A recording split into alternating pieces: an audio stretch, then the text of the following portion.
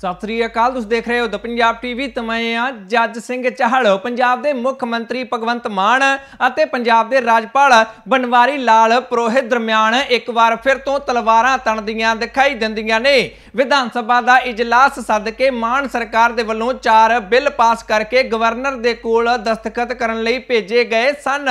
Governor ਨੇ ਦਸਤਖਤ ਨਾ ਕੀਤੇ, ਭਗਵੰਤ ਮਾਨ ਨੇ ਚਿੱਠੀ ਲਿਖੀ, ਛੇਤੀ ਕਰੋ। ਇਹਨਾਂ ਬਿੱਲਾਂ ਤੇ ਸਾਈਨ ਕਰ ਦਿਓ। ਜਵਾਬ ਦਿੱਤਾ ਗਵਰਨਰ ਨੇ ਕਿ ਜਿਹੜਾ ਇਜਲਾਸ ਤੁਸੀਂ ਸੱਦਿਆ ਸੀ, ਉਹ ਗੈਰ ਸੰਵਿਧਾਨਕ ਸੀ। ਇਸ ਕਰਕੇ ਉਸ ਇਜਲਾਸ ਦੇ ਵਿੱਚ ਪਾਸ ਕੀਤੇ ਗਏ ਬਿੱਲਾਂ ਤੇ ਸਾਈਨ ਕਰਨ ਦਾ ਕੋਈ ਮਤਲਬ ਨਹੀਂ ਬਣਦਾ ਏ। ਉਹਨਾਂ ਨੇ ਤਾਂ ਇਜਲਾਸ ਤੇ ਹੀ ਸਵਾਲ ਚੁੱਕ ਦਿੱਤੇ। ਮੀਡੀਆ ਦੇ ਸਾਹਮਣੇ ਭਗਵੰਤ ਮਾਨ ਨੇ ਬਿਆਨ ਦੇ ਦਿੱਤਾ ਕਿ ਬੜੀ ਮੰਦਭਾਗੀ ਗੱਲ ਹੈ। ਗਵਰਨਰ ਨੂੰ ਇਹ ਵੀ ਪਤਾ ਨਹੀਂ ਕਿ ਕਿਹੜਾ ਇਜਲਾਸ ਸੰਵਿਧਾਨਕ ਹੈ ਅਤੇ ਕਿਹੜਾ ਗੈਰ ਸੰਵਿਧਾਨਕ। ਉਸ ਤੋਂ ਬਾਅਦ ਗਵਰਨਰ ਨੇ ਹੁਣ ਜਵਾਬੀ ਚਿੱਠੀ ਲਿਖ ਕੇ ਭਗਵੰਤ ਮਾਨ ਨੂੰ ਖਰੀਆਂ ਖਰੀਆਂ ਸੁਣਾ ਦਿੱਤੀਆਂ ਨੇ। ਸਭ ਤੋਂ ਪਹਿਲਾਂ ਤੁਹਾਨੂੰ ਭਗਵੰਤ ਮਾਨ ਦਾ ਉਹ ਬਿਆਨ ਸੁਣਾਉਨੇ ਆ ਜਿਸ ਦਾ ਜਵਾਬ ਆਪਣੀ ਚਿੱਠੀ ਦੇ ਵਿੱਚ ਰਾਜਪਾਲ ਦੇ ਵੱਲੋਂ ਦਿੱਤਾ ਗਿਆ ਹੈ ਇਹ ਬੜੀ ਬੜੀ ਬੜੀ ਮੰਦਭਾਗੀ ਗੱਲ ਹੈ ਕਿ ਪੰਜਾਬ ਦੇ ਗਵਰਨਰ ਨੂੰ ਇਹ ਨਹੀਂ ਪਤਾ ਕਿ ਸੈਸ਼ਨ ਜਿਹੜਾ ਉਹ ਲੀਗਲ ਸੀ ਜਾਂ ਇਲੀਗਲ ਸੀ। ਇਸ ਤੋਂ ਪਹਿਲਾਂ ਕੈਪਟਨ ਅਮਰਿੰਦਰ ਵਾਰੀ ਦੋ ਵਾਰੀ ਇਦਾਂ ਹੋਇਆ ਸੀ ਕਿ ਪ੍ਰੋਰੋਗ ਨਹੀਂ ਹੋਇਆ ਸੀ ਸੈਸ਼ਨ ਤੇ ਦੁਬਾਰਾ ਬੁਲਾ ਲਿਆ ਗਿਆ ਸੀ ਗਵਰਨਰ ਦੀ ਪਰਮਿਸ਼ਨ ਤੋਂ ਬਿਨਾਂ। ਇਹ ਸੈਸ਼ਨ ਜਿਹੜਾ ਅਸੀਂ ਵੀ ਆਪਣੇ ਸੰਵਿਧਾਨ ਦੇ ਮਾਹਿਰਾਂ ਤੋਂ ਗੱਲ ਕਰਕੇ ਕੀਤਾ। ਕੱਚੀਆਂ ਗੋਲੀਆਂ ਨਹੀਂ ਖੇਡਦੇ ਮੈਮ ਅਸੀਂ। ਨਹੀਂ, ਜਵਾਬ ਕੀ, ਉਹਨਾਂ ਨੇ ਤਾਂ, ਉਹਨਾਂ ਤੇ ਲੇਟ ਉਹਨਾਂ ਨੇ ਡਿਲੇ ਕਰਨਾ ਹੈ। ਡਿਲੇ ਕਰਨਾ ਜੇ ਉਹ ਅੱਜ ਸਾਈਨ ਕਰਕੇ ਦੇ ਦੇਣ, ਤਾਂ ਸ਼੍ਰੋਮਣੀ ਕਮੇਟੀ ਨੂੰ ਅਸੀਂ ਅਸੀਂ ਜਿਹੜੇ ਉਹ ਸੋਧ ਕੀਤੀ ਹੈ, ਉਹ ਚ ਅਸੀਂ ਆਪਦੇ ਕੋਲੇ, ਸਰਕਾਰ ਕੋਲੇ ਥੋੜੀ ਰਾਈਟਸ ਲਏ ਨੇ। ਅਸੀਂ ਕਿਹਾ ਸ਼੍ਰੋਮਣੀ ਕਮੇਟੀ ਇਹ ਮੇਕ ਸ਼ੋਰ ਕਰੂਗੀ ਕਿ ਫ੍ਰੀ ਟੂ 에ਅਰ ਤੇ ਫ੍ਰੀ ਟੂ ਆਲ ਹੋਊਗਾ। ਸ਼੍ਰੋਮਣੀ ਕਮੇਟੀ ਨੂੰ ਹੀ ਅਸੀਂ, ਪਰ- ਜਿਹੜੇ ਆ, ਉਹ ਉਹਨਾਂ ਦੀਆਂ ਸ਼ਕਤੀਆਂ ਵਧਾ ਰਹੇ ਹਾਂ। ਪਰ ਉਹ ਨਹੀਂ ਲੈਣਾ ਚਾਹੁੰਦੇ ਕਿਉਂਕਿ ਆ ਹੈ ਭਗਵੰਤ ਮਾਨ ਦੇ ਵੱਲੋਂ ਦਿੱਤੇ ਗਏ ਇਸ ਬਿਆਨ ਤੋਂ ਬਾਅਦ ਜਵਾਬੀ ਚਿੱਠੀ ਰਾਜਪਾਲ ਬਨਵਾਰੀ ਲਾਲ ਪ੍ਰੋਹਿਤ ਨੇ ਲਿਖ ਦਿੱਤੀ। ਉਹਨਾਂ ਨੇ ਆਖਿਆ ਕਿ ਤੁਸੀਂ ਕਹਿ ਰਹੇ ਹੋ ਕਿ ਮੈਂ ਕਾਨੂੰਨੀ ਰਾਏ ਨਹੀਂ ਲਈ ਹੈ, ਪਰ ਅਜਿਹਾ ਬਿਲਕੁਲ ਨਹੀਂ ਹੈ। ਕਾਨੂੰਨੀ ਮਾਹਿਰਾਂ ਦੇ ਨਾਲ ਗੱਲਬਾਤ ਕਰਨ ਤੋਂ ਬਾਅਦ ਹੀ ਮੈਂ ਇਸ ਇਜਲਾਸ ਨੂੰ ਗੈਰ ਸੰਵਿਧਾਨਕ ਆਖਿਆ ਹੈ ਅਤੇ ਜਿਹੜੀ ਮੈਂ ਕਾਨੂੰਨੀ ਰਾਏ ਲਈ ਹੈ, ਉਸ ਨੂੰ ਵੀ ਇਸ ਚਿੱਠੀ ਦੇ ਵਿੱਚ ਮੈਂ ਨਾਲ ਨੱਥੀ ਕਰ ਰਿਹਾ ਹਾਂ। ਗਵਰਨਰ ਨੇ ਇਹ ਗੱਲ ਆਖੀ। ਨਾਲ ਦੀ ਨਾਲ ਉਹਨਾਂ ਨੇ ਭਗਵੰਤ ਮਾਨ ਨੂੰ ਖਰੀਆਂ ਖਰੀਆਂ ਸੁਣਾਉਣ ਦਾ ਕੰਮ ਵੀ ਕਰ ਦਿੱਤਾ। ਉਹਨਾਂ ਨੇ ਆਖਿਆ, ਮੈਂ ਜੋ ਜੋ ਕੁਝ ਚਿੱਠੀਆਂ ਲਿਖ ਕੇ ਤੁਹਾਡੇ ਕੋਲੋਂ ਜਾਣਕਾਰੀ ਮੰਗੀ ਹੈ, ਉਹ ਜਾਣਕਾਰੀ ਤੁਸੀਂ ਮੈਨੂੰ ਦੇ ਦਿਓ। ਕਿਉਂਕਿ ਜੇਕਰ ਉਹ ਮੈਨੂੰ ਤੁਸੀਂ ਜਾਣਕਾਰੀ ਨਾ ਦਿੱਤੀ ਜਿਹੜੀ ਮੈਂ ਮੰਗੀ ਹੈ, ਤਾਂ ਤੁਸੀਂ ਇੱਕ ਵਾਰ ਫਿਰ ਤੋਂ ਸੰਵਿਧਾਨ ਦੀ ਉਲੰਘਣਾ ਕਰ ਦੇਵੋਗੇ। ਜਾਣਕਾਰੀ ਦਿਓ, ਆਪਣੀ ਚਿੱਠੀ ਦੇ ਵਿੱਚ ਇੱਕ ਵਾਰ ਫਿਰ ਤੋਂ ਮੰਗ ਰਾਜਪਾਲ ਦੇ ਵੱਲੋਂ ਰੱਖ ਦਿੱਤੀ ਗਈ। ਦਰਅਸਲ ਰਾਜਪਾਲ ਨੇ ਕਈ ਚਿੱਠੀਆਂ ਲਿਖੀਆਂ, ਭਗਵੰਤ ਮਾਨ ਨੂੰ ਪੰਜਾਬ ਦੇ ਵੱਖ-ਵੱਖ ਮੁੱਦਿਆਂ ਨੂੰ ਲੈ ਕੇ ਜਿਹੜਾ ਵੀ ਮੁੱਦਾ ਵਿਰੋਧੀ ਧਿਰ ਦੇ ਵੱਲੋਂ ਰਾਜਪਾਲ ਦੇ ਕੋਲ ਪਹੁੰਚਾਇਆ ਜਾਂਦਾ ਰਿਹਾ, ਉਹੀ ਜਾਣਕਾਰੀ ਮੰਗਣ ਲਈ ਚਿੱਠੀ ਰਾਜਪਾਲ ਨੇ ਮੁੱਖ ਮੰਤਰੀ ਭਗਵੰਤ ਮਾਨ ਨੂੰ ਲਿਖ ਦਿੱਤੀ। ਪਰ ਭਗਵੰਤ ਮਾਨ ਨੇ ਇੱਕ ਵੀ ਚਿੱਠੀ ਦਾ ਜਵਾਬ ਨਹੀਂ ਦਿੱਤਾ। ਭਗਵੰਤ ਮਾਨ ਨੇ ਆਖਿਆ, ਮੈਂ ਜਵਾਬ ਕਿਉਂ ਦੇਵਾਂ? ਮੈਂ ਰਾਜਪਾਲ ਨੂੰ ਜਵਾਬ ਦੇ ਨਹੀਂ ਹਾਂ। ਮੈਂ ਪੰਜਾਬ ਦੇ 3 ਕਰੋੜ ਲੋਕਾਂ ਨੂੰ ਜਵਾਬ ਦੇ ਹਾਂ। ਜਦੋਂ ਲੋਕ ਮੇਰੇ ਤੋਂ ਜਵਾਬ ਮੰਗਣਗੇ, ਮੈਂ ਜਵਾਬ ਦੇ ਦੇਵਾਂਗਾ। ਰਾਜਪਾਲ ਨੂੰ ਮੈਂ ਜਵਾਬ ਨਹੀਂ ਦੇਣਾ। ਮਸਲਾ ਪਹੁੰਚ ਗਿਆ ਸੀ ਅਦਾਲਤ ਦੇ ਵਿੱਚ। ਅਦਾਲਤ ਨੇ ਕਹਿ ਦਿੱਤਾ ਸੀ ਕਿ ਰਾਜਪਾਲ ਜੋ ਵੀ ਪੁੱਛਣਗੇ, ਮੁੱਖ ਮੰਤਰੀ ਨੂੰ ਉਸ ਦਾ ਜਵਾਬ ਦੇਣਾ ਹੀ ਪਵੇਗਾ। ਉਸ ਤੋਂ ਬਾਅਦ ਅਜੇ ਤੱਕ ਭਗਵੰਤ ਮਾਨ ਦੇ ਵੱਲੋਂ ਗਵਰਨਰ ਨੂੰ ਉਹਨਾਂ ਚਿੱਠੀਆਂ ਦਾ ਜਵਾਬ ਨਹੀਂ ਦਿੱਤਾ ਗਿਆ ਹੈ। ਇਸੇ ਕਰਕੇ ਆਪਣੀ ਇਸ ਚਿੱਠੀ ਦੇ ਵਿੱਚ ਵੀ ਰਾਜਪਾਲ ਨੇ ਉਹੀ ਜ਼ਿਕਰ ਕਰ ਦਿੱਤਾ ਹੈ। ਅਤੇ ਹੁਣ ਜਦੋਂ ਪੰਜਾਬ ਸਰਕਾਰ ਦੇ ਮੰਤਰੀਆਂ ਤੋਂ ਰਾਜਪਾਲ ਦੇ ਬਾਰੇ ਸਵਾਲ ਪੁੱਛੇ ਜਾ ਰਹੇ ਨੇ ਕਿ ਰਾਜਪਾਲ ਨੇ ਤਾਂ ਉਸ ਇਜਲਾਸ ਨੂੰ ਹੀ ਗੈਰ ਸੰਵਿਧਾਨਕ ਕਹਿ ਦਿੱਤਾ ਹੈ, ਤਾਂ ਪੰਜਾਬ ਸਰਕਾਰ ਦੇ ਮੰਤਰੀ ਇਸ ਸਵਾਲ ਤੋਂ ਬਚਦੇ ਦਿਖਾਈ ਦਿੰਦੇ ਨੇ।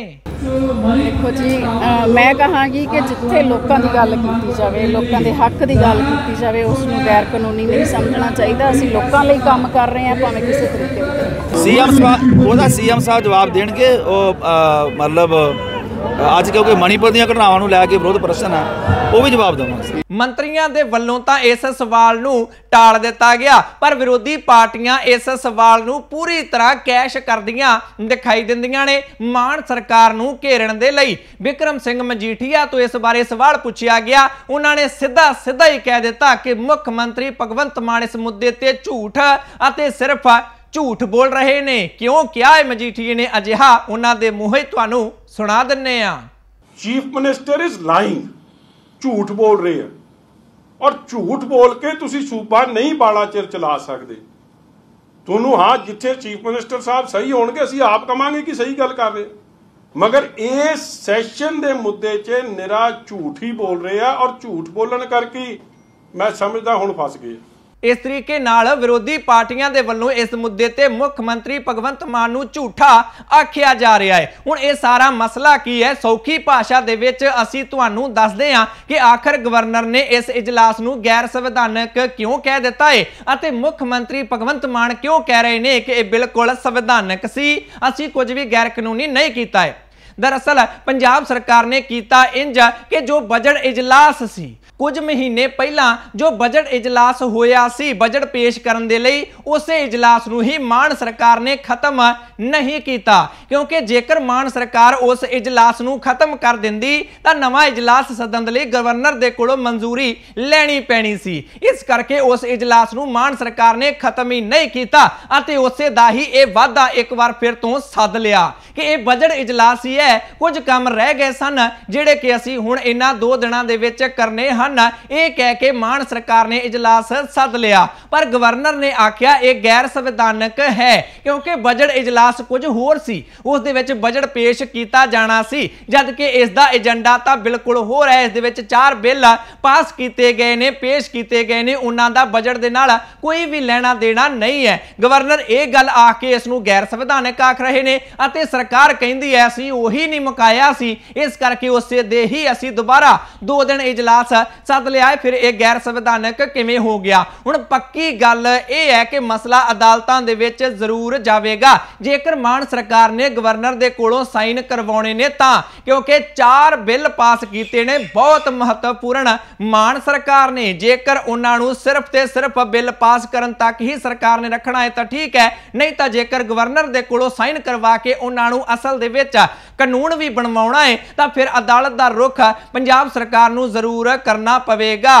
ਕਿਉਂਕਿ ਇਸ ਦੇ ਵਿੱਚ ਡੀਜੀਪੀ ਵਾਲਾ ਬਿੱਲ ਵੀ ਹੈ। ਡੀਜੀਪੀ ਅਸੀਂ ਆਪੇ ਹੀ ਲਾਵਾਂਗੇ। ਯੂਪੀਐਸਸੀ ਦੇ ਕੋਲ ਅਸੀਂ ਕੋਈ ਪੈਨਲ ਨਹੀਂ ਭੇਜਣਾ ਏ ਗੁਰਬਾਣੀ ਦੇ ਪ੍ਰਸਾਰਣ ਨੂੰ ਲੈ ਕੇ ਗੁਰਦੁਆਰਾ ਐਕਟ ਦੇ ਵਿੱਚ ਜੋ ਸੋਧ ਕੀਤੀ ਗਈ, ਉਹ ਵੀ ਬਿੱਲ ਹੈ। ਕਹਿਣ ਦਾ ਮਤਲਬ ਇਹ ਹੈ, ਬਹੁਤ ਮਹੱਤਵਪੂਰਨ ਬਿੱਲ ਨੇ। ਜੇਕਰ ਉਹਨਾਂ ਨੂੰ ਕਾਨੂੰਨ ਬਣਾਉਣਾ ਹੈ ਤਾਂ ਅਦਾਲਤ ਦੇ ਵਿੱਚ ਪੰਜਾਬ ਸਰਕਾਰ ਨੂੰ ਜ਼ਰੂਰ ਜਾਣਾ ਪਵੇਗਾ। ਜਾਂਦੀ ਹੈ ਸਰਕਾਰ ਜਾਂ ਫਿਰ ਨਹੀਂ ਅਦਾਲਤ ਦੇ ਵਿੱਚ, ਉਹ ਤਾਂ ਬਾਅਦ ਦੇ ਵਿੱਚ ਹੀ ਪਤਾ ਲੱਗੇਗਾ। ਪਰ ਰੇੜਕਾ ਇੱਕ ਵਾਰ ਫਿਰ ਤੋਂ ਮੁੱਖ ਮੰਤਰੀ ਭਗਵੰਤ ਮਾਨ ਅਤੇ ਰਾਜਪਾਲ ਬਨਵਾਰੀ ਲਾਲ ਪੁਰੋਹਿਤ ਵਿਚਾਲੇ ਪੈਂਦਾ ਦਿਖਾਈ ਦਿੰਦਾ ਹੈ।